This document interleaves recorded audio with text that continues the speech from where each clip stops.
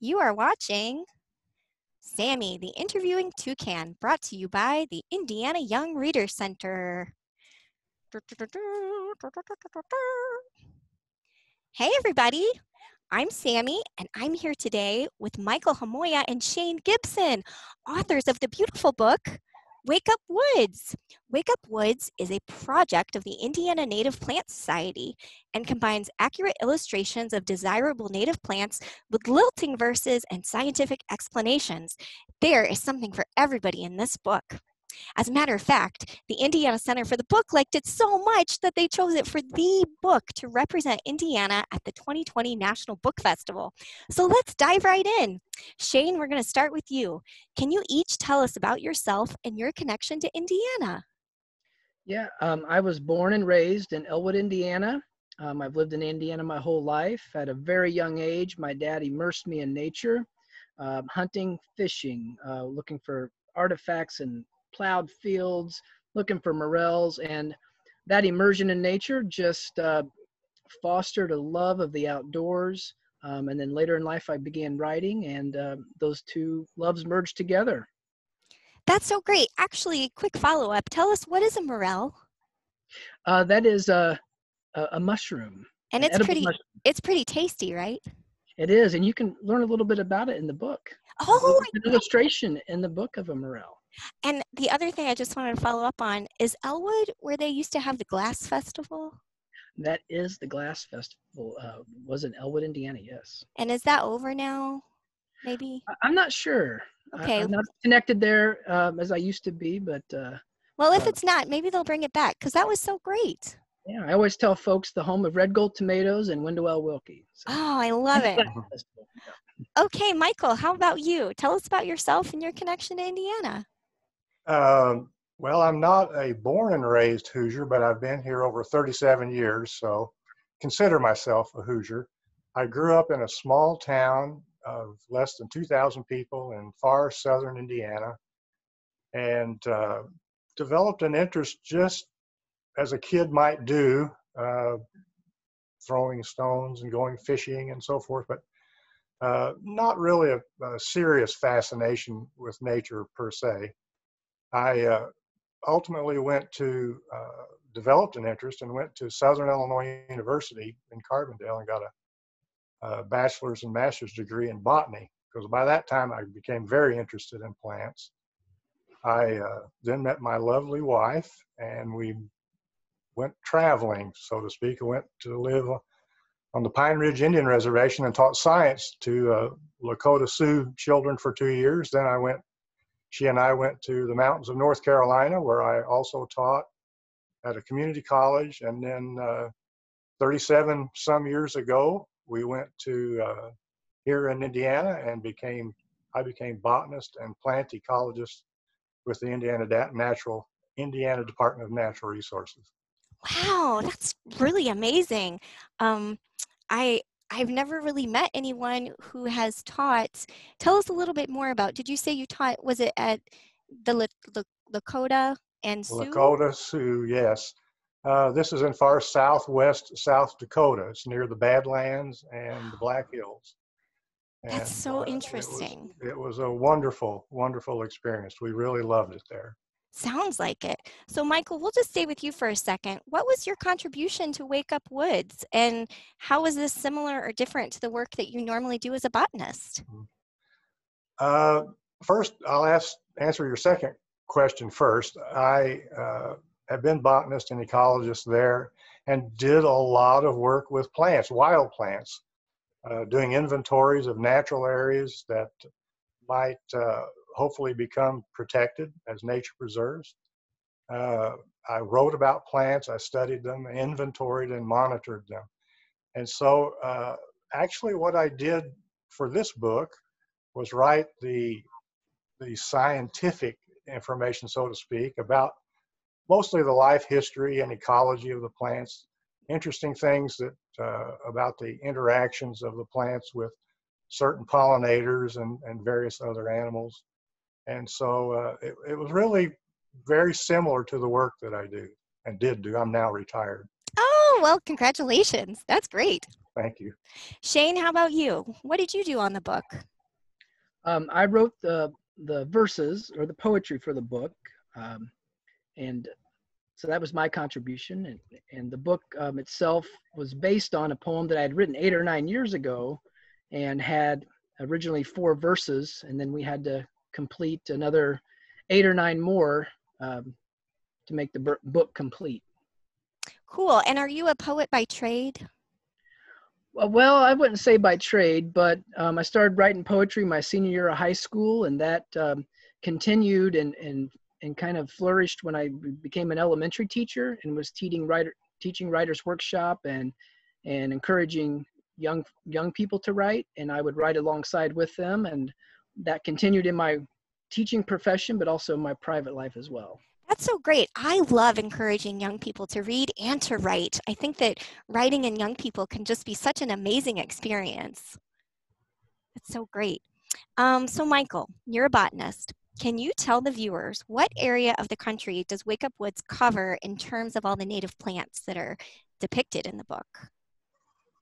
Well, uh, they were actually very carefully selected. We wanted to make certain that they not only occurred in Indiana, but a much greater area of, uh, of occurrence so that there would be, uh, this book would be of, of interest to people farther away than, than the Midwest. So you could include all of the Midwest and all basically the northeastern quarter of the United States and south uh, eastern corner of Canada would apply. So these plants are wide ranging and fairly common and ones that uh, people could see when they take a, a hike out into the into their favorite natural area or forest. That's great. You've touched on this a little bit, but can you tell us how the plants were chosen and maybe which which plant in the book is your favorite? Well, as as you know, the title is Wake Up Woods, and these are plants that are the very earliest blooming ones in the forest, and they actually come out even before the leaves come out on the trees. So as this is all happening, it's kind of the awakening of the forest, hence Wake Up Woods. And my favorite plant in the book, and you know there there are so many. I think what is whichever one I'm happening happening to look at at the moment when I'm out in the woods is my favorite one. But if I had to choose, you have recall, to choose. I recall I recall a time uh, seeing in a floodplain forest a just a huge, massive expanse of bluebells, Virginia bluebells. And to me, it was like seeing a piece of the sky that had come down to the ground. And it was very airy. Uh, it was just a solid blue, and I almost felt like, like how perhaps weightlessness might feel, or how a bird might feel flying in the sky. It was it was a very special experience, and uh, so I'd have to pick that one.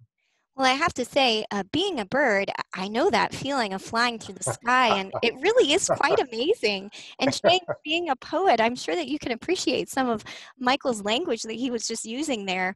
Um, and also, Shane. Very poetic. Yes, it was, wasn't it? sure. So there is a really long tradition of writing poetry about nature. Shane, can you talk a little bit about maybe the challenges in writing a poem about a specific plant, or were there was it really just all about opportunities? Well, I find writing oftentimes, uh, you know, the first four verses that I wrote of this book, you know, again eight or nine years ago, they probably happened maybe within 30 seconds after an experience in nature in the, in the early spring, and there was just something that clicked. It happened. It, and they all made sense. They just and they came out as and, and those verses are all in the in the book. Uh, the others eight verses that we had to add that's a you know it's a different challenge when you've got to make something up when it when it just doesn't happen naturally. You've got to you know it's it's more of a labor to spend time working. And those verses went through multiple versions.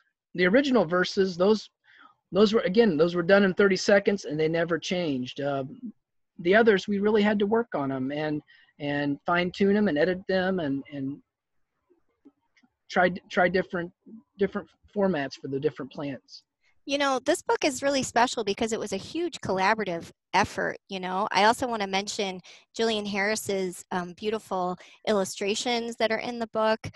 What was it like writing a picture book with, you know, three different contributions, plus you had the publisher, plus you had the Native Plant Society? Shane, do you want to tackle that? Yeah, I will say, uh, you know, Gillian and I worked um, really close together as we looked at those additional plants that we were adding to the list and actually Michael too, because I was looking for unique things about the plant to help write the verses. And Gillian has a great uh, natural history background, botany background, and so she was she knew more about these interactions between insects and plants than I did. And so I would ask her, which ones are you featuring in your artwork? And I would that that would help guide me of maybe a way to look at information I would put in the verse or you know little lines or something quirky about that plant relationship that I uh, animal relationship that I could look for. So I, I was relying on what Michael had written, what Gillian was painting to try to formulate these new verses. And Shane, it sounds like you've got something wild in your background. Is that a child by any chance? uh, that's that's the chickens. Oh, well, not so wild. so Michael, how about you? How was it to do a picture book in a collaborative way? Have you done picture books before, either of you? I no, I have not. Not at least in terms of uh, uh, paintings and illustrations. I did have the good fortune to, to write a couple books about plants. One about the wild and native orchids of Indiana, as well as a field guide to, to forest plants. But never anything quite like this. But I was thrilled to be involved with it because uh, not only did I get to work with a bunch of wonderful people, but uh, just to know uh, who the, the targeted audience was and what impact it could make on on on them and the reader and the, and especially the children and and hopefully to to develop and inspire a great strong interest in in nature and of course plants being a botanist that that's uh, that's always good but yeah, it it uh, it was it was a lot of fun. I really enjoyed it. Well, let's talk about the audience. Clearly, this is a picture book. I've talked before in other interviews about the power of picture books. Picture books, I think, are almost like little miracles, you know? They're really for all sorts of audiences. They reach young children, they reach parents because clearly the parents are going to be reading to the children. They reach older children too, and also just grown ups in general. So I just really find picture books to, to be magical. But can you guys talk a little bit about maybe the importance of children getting out in nature? I know, Shane, you talked about your early experiences. Um, I don't know, just talk about that a little bit. Yeah, I, I can talk about um, both the utilization of picture books in connecting people to nature and what I do with my current position as education director for Sycamore Land Trust um, and reaching thousands of participants a year. Um, in many of those programs, I'm utilizing picture books. And so my cl- elementary classroom experience uh, really turned me on to the use of picture books in the classroom. I, I loved it. So I, whenever I'd write these poems, I would say, "Oh man, this would make a good picture book." And well, I would never get it accomplished. And my wife would say, Would you just do it? Would you make a picture book? And so, with the Indiana Native Plant Society being the driving force, they really gave me an opportunity that I had been thinking about a, for a long time of taking one of my poems and making it into a picture book. Um, but I utilize these picture books, um, very similar to Wake Up Woods, all the time in classrooms as jumping off points, as introductions, as support to nature lessons. Um, I would say more times than not, I'm utilizing picture books for my nature-based lessons in, in classrooms. And it is really essential for children to get out into nature, right? So that they feel like it's theirs and they want to protect it. And it's also just plain old healthy, isn't it? Well, I think, yeah, I think both of those things are key. And, and again, from my position at Sycamore Land Trust, they, they started this position as with an education director for the idea that in connecting people to nature, we are um, fostering the next generation of conservationists, the people to love and care for the land.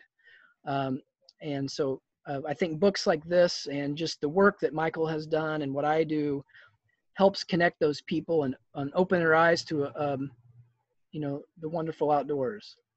Michael, do you have anything you want to add about getting kids out into nature? I uh, really the only thing to add is get them out there. That's that's that's the main thing. We can we can talk about it, and uh, and uh, let them watch nature on TV, but you really have to get them out outdoors and in the field and and uh, and make it fun.